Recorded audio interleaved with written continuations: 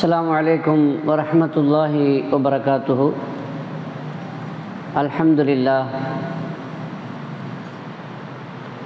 الحمد لله رب العالمين. عدد خلقه وزنة عرشه ورضا نفسه ومداد كلماته. سبحانك لا علم لنا إلا ما علمتنا إنك أنت العليم الحكيم. اللهم صل على سيدنا محمد وعلى آل سيدنا محمد وبارك وسلم عليه அளவற்ற அருளாளன் நிகரற்ற அன்புடையோன் எல்லாம் வல்ல அல்லாஹுவின் திருநாமத்தால் துவக்கம் அல்லாஹுவை பயந்து நடந்து கொள்ளும்படி வாழ்வின் எல்லா நிலைகளிலும் தக்குவாவுடைய வாழ்க்கையை மேற்கொள்ளும்படி முதல் முதலாக எனக்கும் உங்களுக்கும் உபதேசம் செய்து கொள்கிறேன். பொதுவாக மனிதர்கள் தங்கள் தங்களை எல்லோரும் புகழ வேண்டும் பாராட்ட வேண்டும் என்று விரும்புகிறார்கள். ஆனால் அடுத்தவர்களையும் நாம் பாராட்ட வேண்டும் புகழ வேண்டும் என்று அவர்கள் நினைப்பதில்லை அதை விரும்புவதும் இல்லை. தன்னிடத்திலே இல்லாததை சொல்லி புகழ்ந்தாலும் பாராட்டினாலும் சந்தோஷப்படுகிறான் மனிதன். ஆனால் அடுத்தவர்களிடத்தில் இருப்பதை சொல்லி பாராட்டுவதற்கும் கூட யோசிக்கிறான் தயக்கம் காட்டுகிறான் வெறுக்கின்றான். இது ஒரு நல்ல சுபாவம் இல்லை. ஒயுஹிப்பூன் ஐயுஹமது பிமாலம் எஃபாடு தான் செய்யாததை கொண்டு தான் புகழப்பட வேண்டும் என்று விரும்புகிறார்கள். இவர்கள் நரகத்தை விட்டும் தூரமானவர்கள் என்று எண்ணி விடாதீர்கள் என்று அல்லாஹ் குரானிலே எச்சரிக்கை செய்கிறான். அடுத்தவர்களை புகழுகிற பொழுது நாம் என்ன நினைக்கிறோம்? கொஞ்சம் தூக்கலாக சொல்கிறாரு கொஞ்சம் கூடுதலாக சொல்கிறாரு அவருக்கு என்ன தெரியும் இவரை பற்றி ஐஸ் வைக்கிறாரு. என்றெல்லாம் சொல்லி அது சரியில்லை அப்படின்னு நினைக்கிறோம் அதே நேரத்தில் தன்னை பற்றி புகழ்கிற பொழுதும் அதே ஃபார்முலா தான். ஆனாலும் கூட நம்மளை பற்றி நல்லா சொல்கிறாரு நம்ம நல்லா தெரிஞ்சு வச்சுருக்காரு. உண்மையை தான் சொல்கிறாரு என்று சந்தோஷப்படுகிறான். மனிதனுடைய பலகீனம். இதற்கெல்லாம் காரணம் என்னவென்றால் நம்ம அன்பு இல்லை. சிறந்த மனசு இல்லை. தூர நோக்கு தொலைநோக்கு இல்லை. தான் பெற்ற இந்த இன்பம் மையகமும் பெற வேண்டும் என்ற தொலைநோக்கு பார்வை இல்லை. அன்பு இருந்தால் புகழுவான் பாராட்டுவான். பகை இருக்கிற பொழுது விரோதமும் குரோதமும் இருக்கிற பொழுது பாராட்டுவதற்கு மனசு வராது. ஆக பாராட்டாமல் இருப்பதற்கு ரெண்டு காரணம் தான் இருக்க முடியும். ஒன்று பொறாமை. இன்னொன்று பெருமை. நம்மளோட பெரிய ஆளா என்பதை மனசு ஏற்றுக்கொள்ளாது. அப்பொழுது அவனுக்கு பெருமை வருகிறது பாராட்ட தயக்கம் காட்டுகிறான். நம்மளோட எப்படி அவன் உயர்ந்து போகிறது நம்மளோட எப்படி அவன் பேரும் புகழும் பெறுவது என்று அவன் பொறாமைப்படுகிற பொழுதும் அவன் தானும் புகழ்வதில்லை அடுத்தவர்கள் புகழ்வதை விரும்புவதும் இல்லை. ஆனால் மனிதர்களாகிய நாம் கண்மணி நாயகம் செல்லந்தாலே செல்லம் அவர்களுடைய வளர்ப்பில் நாம் எப்படி உருவாக்கப்பட்டிருக்கிறோம் என்றால் மூமின்களாகிய நாம் பாராட்ட வேண்டியவர்களை பாராட்ட வேண்டும். புகழ வேண்டியவர்களை புகழ வேண்டும். தட்டி கொடுத்து அரவணைத்து அன்பு காட்டி ஆதரித்து அவர்களுடைய திறமைகளை வளர்க்க வேண்டும். அவர்களை உற்சாகப்படுத்த வேண்டும். அவர்களிடமிருந்து பெற வேண்டிய காரியங்களை அவர்கள் செய்வதற்கு அவர்களிடமிருந்து வெளிப்பட வேண்டிய திறமைகளை அவர்களிடம் அதை வெளிப்படுத்துவதற்கு இன்னும் நல்ல முறையில் அவர்கள் சேவை செய்வதற்கும் செயல்படுவதற்கும் அவர்களை உற்சாகப்படுத்துவதற்கு பாராட்ட வேண்டும் புகழ வேண்டும். தாய் தந்தை தன் பிள்ளைகளை பாராட்டினால் அவர்கள் நல்ல முறையிலே வளருவார்கள். படிப்பிலே அவர்கள் கவனம் செலுத்துவார்கள். கணவன் மனைவி ஒருவருக்கொருவர் இருக்கின்ற நன்மைகளை மட்டும் பார்த்து அதை பாராட்டும் பொழுது புகழும் பொழுது மேலும் மேலும் நாம் நல்ல முறையில் செயல்பட்டு நம்முடைய இந்த பாராட்டை அதிகப்படுத்திக் கொள்வதற்கு நாம் என்ன செய்ய வேண்டுமோ அதை செய்ய வேண்டும் என்று நினைத்து அவர்களுடைய உறவுகள் மேம்படும். கணவன் மனைவிக்கிடையில் உண்டான உறவு வளரும். ஆனால் இன்று கணவனும் மனைவியும் எது இருக்கக்கூடாதோ அதை மட்டும்தான் பார்க்கிறார்கள். எது இருக்கிறதோ அதை பார்ப்பதே இல்லை. இது மனிதனுடைய சுபாவம். எனவே இருப்பதை பார்த்து சந்தோஷப்பட்டு நீங்கள் புகழும் பொழுது இல்லாததையும் கூட அவர்கள் உருவாக்கி கொள்வார்கள். அந்த அடிப்படையில் அன்பின் அடிப்படையில் நாம் எல்லோரையும் பாராட்டுவதற்கு முன் வர வேண்டும். கண்மணி நாயகம் சல்லல்லா அலை செல்லம் அவர்கள் இதற்கு நமக்கு சிறந்த ஒரு எடுத்துக்காட்டாக முன்மாதிரியாக திகழ்கிறார்கள். தாமஸ் ஆல்வா எடிசனை பற்றி நாம் கேள்விப்பட்டிருக்கிறோம். மிகப்பெரிய விஞ்ஞானி. உலக புகழ் பெற்ற அந்த விஞ்ஞானி ஆரம்ப காலத்தில் நான்கு வயது வரைக்கும் அவருக்கு பேச்சு வரல. ஊமையாக இருந்தார். பள்ளிக்கூடத்தில் ஆசிரியர்களால் மக்கு மாணவன் மெண்டல் என்றெல்லாம் திட்டு வாங்கியிருந்தார். ஆனால் உலக புகழ் பெற்ற விஞ்ஞானியாக வளர்ந்தது உயர்ந்தது எப்படி? அவங்க தாய் அந்த பிள்ளையை உற்சாகப்படுத்தி பாராட்டி வளர்த்தார்கள். அவர்களுடைய பாராட்டும் அவர்களுடைய உற்சாகமும் தான் எவ்வளோ பெரிய அறிவியல் மேதையாக வளர்வதற்கு காரணம். எந்த அளவிற்கு என்று சொன்னால் ஒரு நாள் புகழின் உச்சியில் இருக்கிற பொழுது தாய் இல்லை இறந்து விட்டார்கள். ஆனால் ஏதோ ஒரு தனக்கு தேவையான ஒரு பொருளை தேடிக்கொண்டிருக்கிறார் வீட்டில். அப்படி தேடுகிற பொழுது ஒரு கடிதம் கிடைக்கிறது. அந்த கடிதம் என்ன கடிதம் என்று சொன்னால் அவர் பள்ளிக்கூடத்திலே படிக்கிற பொழுது அந்த பள்ளிக்கூடத்தில் உண்டான ஆசிரியர்கள் ஒரு கடிதத்தை இவரிடத்திலே கொடுத்து இதை உன் தாயிடத்திலே கொண்டு போய் கொடு என்று சொன்னார்கள். நீ படிக்கக்கூடாது உன் தாய் தான் படிக்க வேண்டும் என்று கண்டிஷன் செய்து சொல்லி கொடுத்தார்கள். அதை அந்த கடிதத்தை அப்படியே வாங்கி கொண்டு தாயிடத்திலே கொடுத்து படிக்க சொன்னார். தாய் அதை படித்து சொன்னார்கள். உங்கள் மாணவன் ரொம்ப திறமையானவன் புத்திசாலி.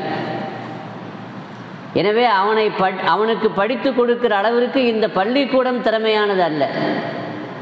இந்த பள்ளிக்கூடத்தினுடைய ஆசிரியர்களாகிய நாங்களும் அவனை உருவாக்கக்கூடிய அளவுக்கு திறமை பெற்றவர்கள் அல்ல.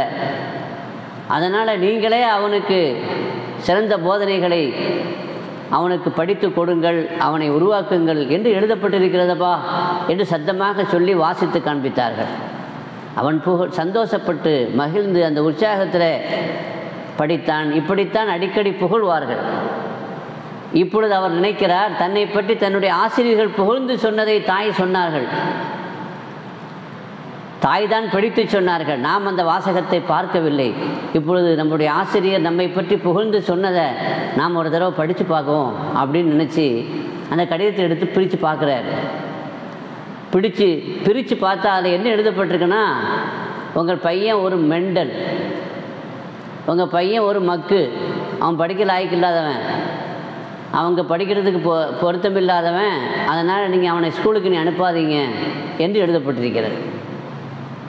அவர் அழுதார் கண்ணீர் விட்டார். எப்படி எழுதப்பட்டிருக்கிறது? ஆனால் தாய் நம்மிடத்தில் எப்படி நம்மை உற்சாகப்படுத்துவதற்காக? சில சமயத்தில் இல்லாததை சொல்லி கூட உற்சாகப்படுத்துகிற பொழுது பாராட்டுகிற பொழுது குழந்தைகள் அதை நம்பி மேலும் உற்சாகமடைகிறார்கள். மனிதனும் அப்படித்தான். இந்த விஷயத்தில் குழந்தையாகத்தான் இருக்கிறான். நல்ல படிக்காதன்னு கூட நீ நல்ல திறமை இருக்கிறது உனக்கு அறிவு இருக்கிறது புத்திசாலம் புத்திசாலித்தனம் நிறைய இருக்கிறது நீ புத்திசாலி என்றெல்லாம் சொல்லி அவனை உருவாக்கும் பொழுது அப்படியா? அப்படின்னு அவன் நம்பி விடுகிறான். அப்போ மேலும் அதை வளர்ப்பதற்கு அவன் முயற்சிக்கிறான். இதை நாம் கண்கூடாக நாம் நடைமுறையில் பார்க்கிறோம். பூமா நபி சல்லல்லா அலை செல்லம் இதை சஹாபாக்களுக்கு மத்தியில் வெளிப்படையாக பாராட்டி அவர்களை உற்சாகப்படுத்துகிற செய்திகளை நாம் நிறைய ஹதீஸ்களிலே பார்க்கிறோம். அதாவது முகாதபுல் ஜபல் ரதியுல்லாஹு அன்பவர்களை ஒரு சமயம் அவன் கையை பிடிச்சு யா முஆத் ஒல்லாஹி இன்னில ஒஹிப்புக்க என்று சொன்னார்கள் முஆதே அல்லாமே சத்தியமாக நான் உன்னை ரொம்ப நேசிக்கிறேன்பான்னு சொன்னான். எப்படி இருக்கும் அவருக்கு? எல்லாரும் அண்ணன் நபிகள் நாயகம் சல்லல்லா அலைஹி செல்லம் அவர்களின் மீது நேசம் வைத்திருக்கிறோம். அவர்கள் மீது பிரியம் வைத்திருக்கிறோம் பாசம் வைத்திருக்கிறோம். ஆனால் பெருமானார் நம்மளை விரும்ப வேண்டும் என்று நினைக்கிறோம். பெருமானார் எல்லோரையும் விரும்புகிறார்கள் அது தெரியும் நமக்கு. ஆனால் குறிப்பாக நான் ஒன்றை நேசிக்கிறேன் என்று சொல்ல வேண்டும் என்று சொன்னால் அது எவ்வளோ பெரிய பாக்கியம். மாது பின் ஜபல் சந்தோஷப்பட்டார்கள். அப்படியே யாரை சொல்கிறதா உன்னை நான் நேசிக்கிறேன் நான் உன்னை விரும்புகிறேன் என்று சொன்ன உடனே எப்படி இருக்கும் அவருக்கு? அந்த உணர்வு எப்படி இருக்கும்? அந்த உணர்வை எப்படி உசுப்பி விட்டார்கள்? அப்படி என்றால் நான் உன்னையே நேசிக்கிறேன்.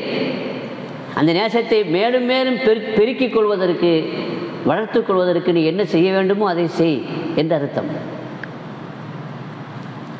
திருப்பி சொன்னார்கள் முஆதுபின் ஜபல் ரதியல்லா யார சொல்லலாம் அல்லாஹ் சத்தியமா? உங்களையும் நான் ரொம்ப நேசிக்கிறேன் யார சொல்லலாம் அப்படின்னு சொன்னாங்க. ஏன்னா ஒரு இளைய சஹாபி பதினெட்டு வயசிலேயே பைஅத்துல் அகபா என்று வரலாற்று சிறப்புக்குரிய ஒப்பந்தத்திலே கலந்து கொண்டவர் புத்திசாலி அறிவாளி யமன் நாட்டுக்கு கவர்னராக ஆளுநராக அனுப்பி வைத்தார்கள். மார்க்க மேதை சின்ன வயசிலேயே மிகப்பெரிய மார்க்கத்தினுடைய அறிவும் ஞானமும் தெளிவும் பெற்ற தீட்சணியமான அந்த புத்தி புத்திசாலித்தனத்தை கண்மணி நாயகம் ஸல்லல்லாஹு செல்லம் தங்களது அருள் பார்வையால் பார்த்தார்கள் உணர்ந்தார்கள். அவரை உற்சாகப்படுத்தினார்கள். சொன்னார்கள். யா முகாது ஒன்று ரொம்ப நேசிக்கிறேன். அதனால் லா தத நீ விட்டு விடக்கூடாது. நான் ஒரு துவா சொல்லி தருவேன்.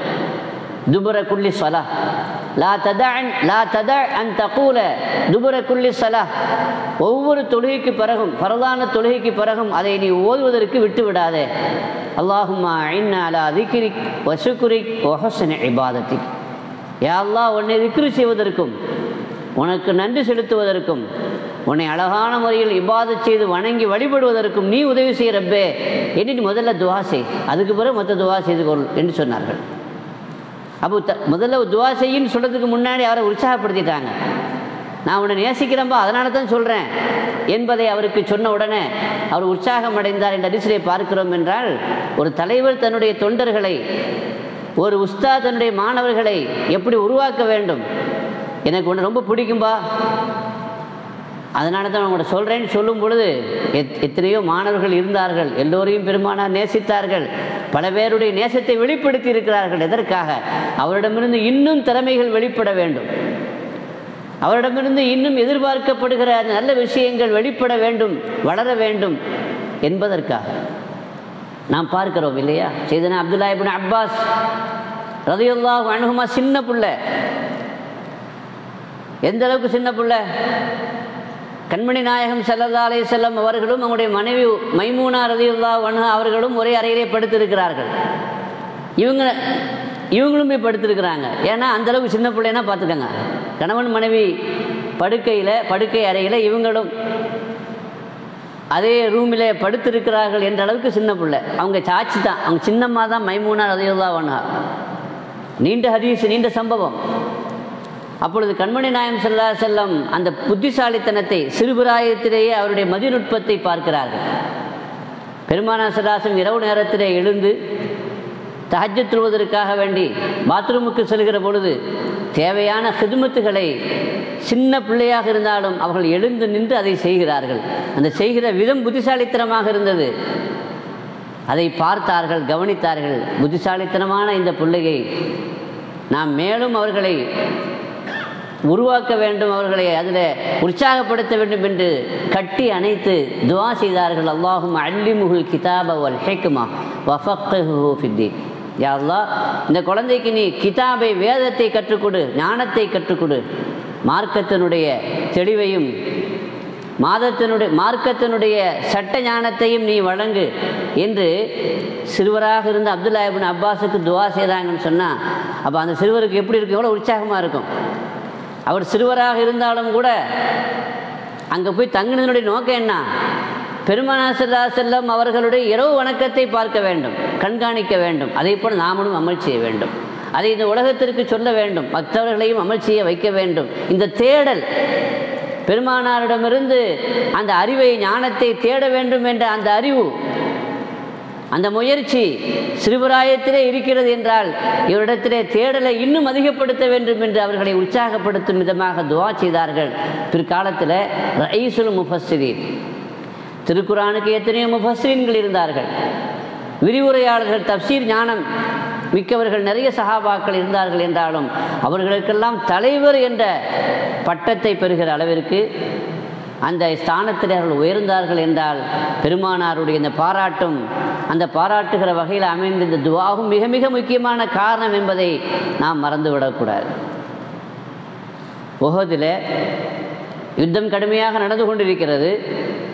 போர்ப்படை தளபதி கண்மணி நாயகம் ஸல்லல்லாஹு அலைஹி செல்லம் அவர்களும் அந்த மைதானத்திற்கு வந்து விட்டார்கள். அவர்கள் தங்களுடைய கூடாரத்திலே அமர்ந்து அவர்கள் வழிநடத்தவில்லை. அவர்கள் யுத்தம் நடைபெறுகிற அந்த மைதானத்தின் மத்திய பகுதிக்கு வந்து விட்டார்கள். ஒரு தளபதி எப்படி இருக்க வேண்டும் என்பதற்கு சிறந்த வழிகாட்டி முன்னுதாரணம் கண்மணி நாயகம் ஸல்லல்லாஹு அலை செல்லம் மைதானத்திற்கு வந்து அதனுடைய மத்திய பகுதிக்கு வந்து அவர்களை வழிநடத்தி கொண்டிருக்கிறார்கள். கடுமையான அந்த யுத்தத்தில் ஒரு சமயத்தில் முஸ்லிம்கள் அதிகமாக பாதிக்கப்படுகிறார்கள். ஒரு முஸ்லீம் அல்லாத எதிரி சஹாபாக்களை முஸ்லிம்களை குறிவைத்து தாக்கிக் கொண்டே இருக்கிறார். பல பேரை வீழ்த்தி விட்டார். கண்மணி நாயம் சல்லாஹலம் அவரை கவனித்து விட்டார்கள். சாதுபின் அபி வக்காஸ் ரதையுல்லாஹு அன்ஹு அங்கே பக்கத்தில் நிற்கிறார்கள். அம்பை எடுத்து அவரிடத்திலே கொடுத்து இருமியா சஹத் க அபி உம்மி என்று சொன்னார்கள். சாது நபி வக்காசு சல்லதா அலிஸ்லமுக்கு மாமா மாமா முறை. சொந்தம். மட்டுமல்ல இளைஞர். அம்பு எறிவதில் அவர் கை தேர்ந்தவர். அவ்வளவுமன் ரமாஃபி சபீர் இல்லா என்று முதல் முதலாக அல்லாவுடைய பாதையில் அம்பு எறிந்த வரலாற்றுக்கு அந்த சிறப்புக்கு சொந்தக்காரர். அவரை பார்த்து சொன்னாங்க. அவரை உற்சாகப்படுத்துக்காண்டி சொன்னாங்க. முதல்ல அம்பு எடுத்து கொடுத்தாங்க. மற்றவங்கள்ட்ட கொடுக்காம அவர்கிட்ட கொடுத்தாங்க. ஏன்னா அவர் குறிபார்த்து எரிவதிலே வல்லவர். கொடுத்து அடுத்து சொன்னாங்க இருமி நீ எரி. நீ உன்னுடைய அம்பை எரி. ஃபிதாக்க அபி உம்மி. என் தாயும் தந்தையும் உனக்கு அர்ப்பணமாகட்டும் என்று சொன்னார்.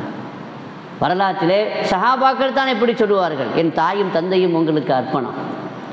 ஆனால் கண்மணி நாயகம் சல்லா அலைஹி அவர்களே ஒரு சஹாபியை பார்த்து என் தாயும் தந்தையும் அர்ப்பணம் என்று சொல்கிறார்கள் என்று சொன்னால் பெருமானா செல்லா செல்லம் அவருடைய தாய் தந்தையும் அப்போ ஹயாத்தா இல்லை. ஆனாலும் அதை அரபிகள் ஏன் சொல்கிறார்கள் என்று சொன்னால் அந்த அளவிற்கு நான் உன்னை நேசிக்கிறேன். அந்த அளவிற்கு உன்னை நான் நம்புகிறேன். அந்த அளவிற்கு உனக்காக நான் என்னை தயார் செய்வதற்கு உனக்காக எதையும் செய்வதற்கு நான் தயாராக இருக்கிறேன் என்ற அந்த மஹப்பத்தை வெளிப்படுத்தி அவருடைய திறமையை வெளிக்கொண்டுவதற்கு உற்சாகப்படுத்தி பாராட்டுவதுதான் அந்த வாசகத்தினுடைய நோக்கம். என் தாயும் தந்தையும் அர்ப்பணமாகட்டும் என்று சொல்லி அவரை பாராட்ட வேண்டும் என்று சொன்னால் அவர்களை உற்சாகப்படுத்த வேண்டும் என்று சொன்னால் யாரிடத்தில் எந்த துறை ஞானம் இருக்கிறதோ யாரிடத்தில் எந்த திறமை இருக்கிறதோ யாரிடத்தில் எந்த நல்ல தன்மைகள் இருக்கிறதோ அதை பாராட்டி அதை மேலும் மேலும் அதை வளர்ப்பதற்கும் மேலும் மேலும் அதிலே அவர் உயர்வதற்கும் உற்சாகப்படுத்துகிற விதத்தில் பெருமானார் சல்லதா அலிஸ்லமனுடைய பாராட்டு உரைகள் அமைந்திருந்தது. கொஞ்சம் எண்ணி பாருங்கள். அந்த நேரத்தினுடைய மனநிலை எப்படி?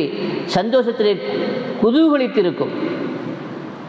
எல்லா சகாபாக்களும் என் தாயும் தந்தையும் உங்களுக்கு அர்ப்பணம் என்று சொல்கிற அந்த வரிசையிலே பெருமானாரே என் தாயும் தந்தையும் உங்களுக்கு அர்ப்பணம் என்று சொல்ல வேண்டும் என்று சொன்னால் அதை சொல்றதுக்கு கொஞ்சம் கூட யோசிக்கிற கண்மணி நாயகம் சல்லல்லா அலிசல்லம் உமரபின ஹத்தாப் ரதியுல்லா அவங்களை பற்றி யாருக்கு தான் தெரியாது. பல்வேறு ஆலோசனைகளில் எல்லோரும் ஒரு யோசனை சொல்லுவார்கள். பெருமானா செல்லா செல்லம் ஒரு யோசனையை வைத்திருப்பார்கள். அதை சொல்லவும் செய்வார்கள். ஆனால் உமரபின கத்தாப் ரதியுல்லா அவர்கள் வித்தியாசமாக யோசனை சொல்லுவார்கள். பெருமானா சரதா அலை செல்லம் அவர்கள் அதற்கு மாற்றமான யோசனையை அப்பொழுது சொல்லியிருந்தாலும் கூட எந்த கருத்தை உஸ்மான் உமர்பின் கத்தாபு ரதியுல்லானு யோசனையாக தனது கருத்தாக சொன்னார்களோ அதற்கு ஏற்ப வகி வந்துவிடும். கிட்டத்தட்ட பதிமூணு பதினான்கு விஷயங்கள் உமர்பின் கத்தாப் ரதியுல்லானு அவர்கள் அவர்களுடைய அபிப்பிராயம். அதற்கு ஏற்ப வகி வந்த வரலாற்றை நாம் குரானுடைய வரலாற்றிலே தப்சீருடைய வரலாற்றில் நாம் பார்க்கிறோம் என்றால் கொஞ்சம் யோசனை பண்ணி பாருங்கள் ஒரு தலைவர் ஒரு அபிப்பிராயம் சொல்கிறாரு அதுக்கு மாற்றமாக கட்சியில் உள்ள ஒரு ஆள் ஒரு அபிப்பிராயம் சொல்கிறார் அப்படின்னு சொன்னால் நமக்கு கோபம் வரும். நான் ஒன்று சொல்கிறேன் நீ ஒன்று சொல்கிறேன் என்னான்று எனக்கு எதிராக எனக்கு மாற்றமான யோசனையை சொல்கிறேன் நான் அதனால தான் ஜால்ராக்கள் உருவாகி விட்டது இன்று. உண்மையான கருத்தை தெரிந்து கொள்ள முடியாமல் போனதற்கு காரணம் அதுதான். ஆனால் பெருமானாசராசலம் கருத்து சுதந்திரம் வழங்கியிருந்தார்கள். அதில் தனக்கு மாற்றமான யோசனையை சொன்னாலும் கூட அது சரியாக இருந்தால் அதை ஏற்றுக்கொள்வதற்கு அவர்கள் தயாராக இருந்தார்கள். அதனால் அந்த தைரியத்தை பெற்று அந்த அனுமதியை பெற்ற உமர்பின் கத்தாப் பல சமயம் கருத்தை சொன்னார்கள். இதில் என்ன விசேஷம் என்னவென்றால் அல்லாவுடைய வகியும் அதற்கு தோதுவாக இறங்கியது. இங்கே நான் ஒன்று சொல்கிறேன் எனக்கு தோதுவாக வகி வரலையே அப்படின்னு நினைக்கல. அப்படின்னு நினச்சவங்க அவங்க நபி இல்லையே. சராசரி தலைவராக ஆயிருப்பாங்க. இங்கே யோசிக்க ஒன்று விஷயம் என்ன தெரியுமா? இன்னல்லாக எந்திக்கு அலா அலிசானி உமர். அந்த நேரத்தில் தனக்கு தன்னுடைய கருத்துக்கு இன்னொரு கருத்து வித்தியாசமான ஒரு கருத்தை யோசனையாக சொன்ன உமர்பின் ஹத்தாப் அதற்கு வகியும் தொதுவாக வந்திருக்கிறது என்று வருகிற பொழுது அவரை பாராட்டுறாங்க. எப்படி பாராட்டுறாங்க தெரியுமா? அல்லாஹ் உமரின் நாவு வழியாக பேசுகிறான். அவர் அவர் பேசல அல்லாஹ் பேசுகிறான். அவர் நாவு வழியாக அல்லாஹ் பேசுகிறான் என்று சொன்னால் இங்கே நீங்கள் எண்ணி பாருங்கள். பெருமானா சலாசன் எப்படி சஹாபாக்களை உற்சாகப்படுத்தி பாராட்டி அவர்களிடமிருந்து வாங்க வேண்டியதை வாங்கினார்கள்? அவர்களிடமிருந்து எப்படி சேவையை வேலையை வாங்கினார்கள்? அவர்கள் மூலமாக இந்த சமுதாயத்திற்கு இந்த மார்க்கத்திற்கு மகத்தான சேவைகள் செய்யப்படுவதற்கு பெருமானாருடைய இந்த பாராட்டு உரைகள் மிக மிக முக்கியமான காரணம் என்பதை நாம் மறந்துவிடக்கூடாது. சங்கைக்குரிய பெருமக்களை எப்படி எத்தனையோ செய்திகள் கண்மணி நாயம் செல்லா செல்ல சொல்லியிருக்கிறாங்க. எல்லோரும் ஒரு பாதை வழியாக சென்று அன்சாரிகள் இன்னொரு பாதை வழியாக சென்றால் லவ் சலக்கன் நாசு வாதியன் மக்களெல்லாம் ஒரு பள்ளத்தாக்கிலே அவர்கள் செல்கிற பொழுது ஒரு சலக்கத்தில் அன்சாரு ஷாபா அன்சாரிகள் இன்னொரு கணவாய் வழியாக அவர்கள் செல்கிறார்கள் என்றால் நான் அகதத்து ஷேபல் அன்சார். நான் அன்சாரிகளுடைய வழியைத்தான் எடுத்துக்கொண்டு அவர்களை பின்தொடர்ந்து அந்த வழியை தான் போவேன்னு சொன்னாங்கன்னா அன்சாரிகளை உற்சாகப்படுத்தினார்கள். அன்சாரிகளை பாராட்டினார்கள். அவர்களை மேலும் மேலும் இந்த மார்க்கத்திற்கு நுசுறு செய்வதற்கு உதவி செய்வதற்கு ஊக்கமளித்தார்கள் என்று பார்க்கிறோம் என்றால் பெருமானாருடைய வெற்றியினுடைய காரணிகள் நிரம்ப இருக்கிறது. அந்த நிரம்ப இருக்கின்ற அந்த காரணங்களில் மிக மிக முக்கியமானது சஹாபாக்களை ஊக்குவித்தார்கள். சஹாபாக்களை மனம் திறந்து பாராட்டினார்கள். அதன் மூலமாக சஹாபாக்கள் மீது தாங்கள் வைத்திருக்கிற நம்பிக்கையை வெளிப்படுத்தினார்கள். தங்களது பிரியத்தை அவர்களுக்கு வெளிப்படுத்தி அவர்களை மேலும் மேலும் உற்சாகப்படுத்தி அவர்களை இதய சுத்தியோடு இதயபூர்வமாக மார்க்கத்திற்கு சேவை செய்யக்கூடிய பண்பாளராக உயர்த்தினார்கள் என்றால் அதுதான் இன்று நாம் செய்ய வேண்டியதும் நாம் வெற்றி பெறுவதற்குண்டான மிக மிக முக்கியமான மந்திரமாக இருக்கும் என்பதை நாம் இந்த இடத்துல சொல்லி குடும்ப வாழ்க்கையில வெற்றி பெற வேண்டும் என்றாலும் அமைப்பு ரீதியாக ஆட்சி ரீதியாக நாம் வெற்றி பெற வேண்டும் என்று சொன்னாலும் தேவையானவர்களை திறமைகள் அவர்களிடமிருந்து இருக்கிற என்று தெரிந்தால் அதை பாராட்ட வேண்டும். அல்லாஹ் நமக்கு தௌஃபிக் செய்வானாக. பிஹக்கு செய்தினா முஹம்மத் செய்தினா ஆலி صلى الله عليه وسلم. وآخر دعوانا أن الحمد لله رب العالمين. السلام عليكم ورحمة الله وبركاته.